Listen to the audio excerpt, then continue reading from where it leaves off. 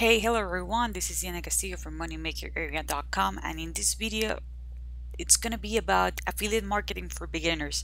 These are going to be six mistakes that you need to avoid if you really want to make money online.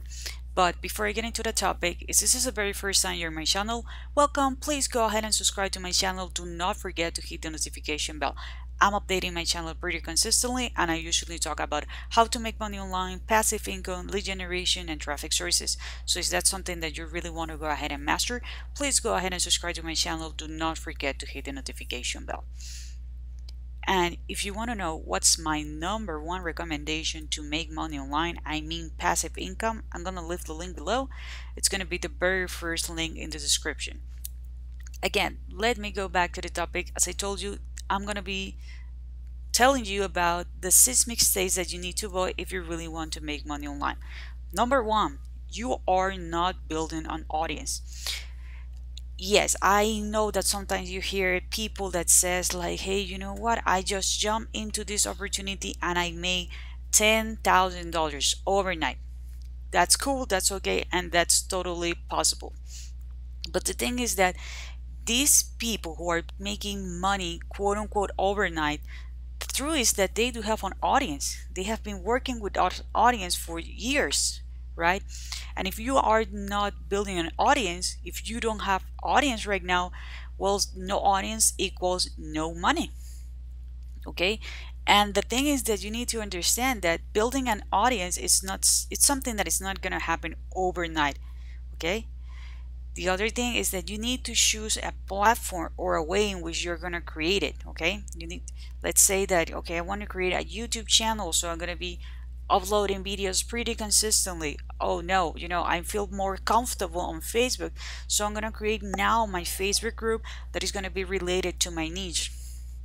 Right. Or maybe you are doing Instagram because you feel comfortable creating images that are eye catchy. So you're going to be an influencer on Instagram okay? So that's something that you need to take into consideration. The other thing is that you are not providing any kind of value okay? You need to give us a reason why we need to be listening to you okay? You need to understand that you're going to be building a relationship. At the end of the day people buy from people they know they like and they trust okay? And if you provide valuable information that's a key point or a way in which you can create a relationship with them. They're going to recognize you as an expert okay?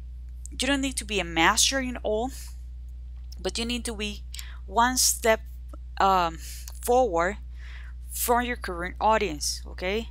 So if you're passionate about your niche the topics that you're going to cover chances are that you're doing research every single day. The thing that you can put is like whatever you learn, you can use your own voice, right? You can share what you learn, and that's a good way to provide value. The other thing is that you need to understand that people don't like to be sold, but they love to buy. So if you're providing them valuable information pretty consistently, whenever you're going to do the pitch, right? And you're going to be promoting a product, they understand like, hey, this guy or this girl, they're always provided me really valuable tips. So it's logical that whenever they refer me to something, it's going to be something uh, that is going to help me. Okay, so if you are pitching, pitching, pitching, and this is really important, especially if you, you are doing emails, right? People are going to be like, whoa, I better don't open these emails, but because every single time I receive an email from here or her, it's all about trying to sell me something. Again, people don't like to be sold, but they love to buy. Okay, I I really don't know how to emphasize this, but stop stop spamming. Okay, please stop spamming. Uh, something. Well, this is actually funny in a way every single time I ask people to leave me a comment if they do have some questions, you know, they have some comments here on my YouTube channel so they can put it in the comment area. But sometimes, and this is getting often, right? There are people who are actually trying to pitch my audience and they're putting that comments on my comment area on my videos, right? The thing is that they don't understand that YouTube understand that you're in spamming. And YouTube is not even showing your comment, okay? And the other thing is that people there are other people who are reporting you okay? Because you are going to select that comment and you're going to click recess report. So sooner rather than later your account is going to be banned so this is super ineffective and you're wasting ton of time okay?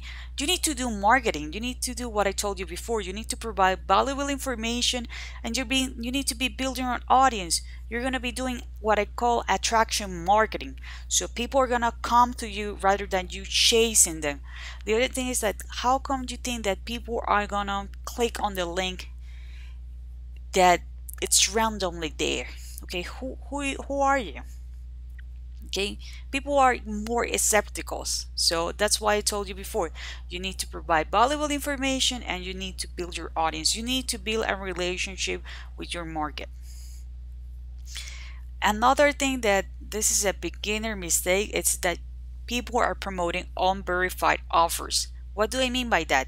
That you are going to be promoting products or services that you haven't tested or used yourself. How come you're going to promote something that you haven't tested okay this is something that i emphasize a lot okay? Don't be offering one thing because someone told you that that's the best thing ever that's going to be the biggest thing ever. No at least create a trial account use it for a month you know ask for a review copy if you can do it and verify that if it's actually doable is this is a great product, is a great service. And if you decide it is going to be a product that you're going to be promoting, right? Because at the end of the day, it's your name that it's going to be there, right? It's you that you're going to be there offering these people something and you are not 100% sure that's going to work. And then people are going to say, they're going to say like, oh, this product is not the one that doesn't work. It's this person who refers me to this product that it's uh, you know scammer. It's not what you told me yada yada yada. Okay? So avoid promoting offer after an offer. Take care of your reputation. Make sure that you are testing whatever product or service you are gonna promote remember that this is a long-term game okay? So stop the shiny object syndrome. Focus and understand that this is a business and this is your business okay? Take care of it. Last but not the least people are not building an email list okay? People are not building an email list. Yeah at the beginning i told you that you need to create an audience but you also need to capture those people's emails. It is a really bad idea if you're not doing that. Why? Because okay nowadays i can be on youtube but i don't know i can be doing something or maybe youtube changed their policies and they discover that my account is going against their policies. Or maybe you have a facebook group that is super active but you know bad people exist and they start reporting your youtube uh, your group your facebook group or maybe your facebook page remember what happens to Facebook pages. Now they are not really relevant as they used to be before. So now people are not getting that interaction. So you understand, social media is always changing. A lot of people are telling me that like, hey Diana, email marketing, really? Email marketing is dead. Well, it's not. Email marketing is not dead. Because guess what? Whenever the phone bill send you an uh, send you their bill, it's through email. So you are used to receive important information on your email. Okay. The other thing is that hey, you don't own Facebook. So if you are building your audience on Facebook Messenger and they decide to shut down your page, what's gonna happen? Yeah, you're gonna have a huge subscriber through Messenger, but you are not gonna be able to use Messenger because that list was tied to that page right? So you understand the concept, right? You understand the concept here, but you own the list, okay? You own your email list. The only thing that you need to do if you want to grow your email list faster is that you need to offer a lead magnet again you need to offer them a valuable information that is gonna be uh, or that they're gonna get if they pay with their email or their name and email address okay? Again once you have your email list you need to provide value value value value and then you're going to need to provide an offer. Remember what i mentioned before it's not about being pitching all day long okay? So these are the five mistakes that people are doing online and these are the reasons why maybe you're not doing money online or you might not be doing as much money as you actually should be. So if you have some comments some questions leave it in the comment area and I'd be more than happy to answer them. This is it for this video. If you like it if you find some golden nuggets give me a thumbs up. That's gonna help me it's gonna help my video it's gonna help my channel. Do not forget to subscribe to the channel and hit the notification bell. And I see you on the next video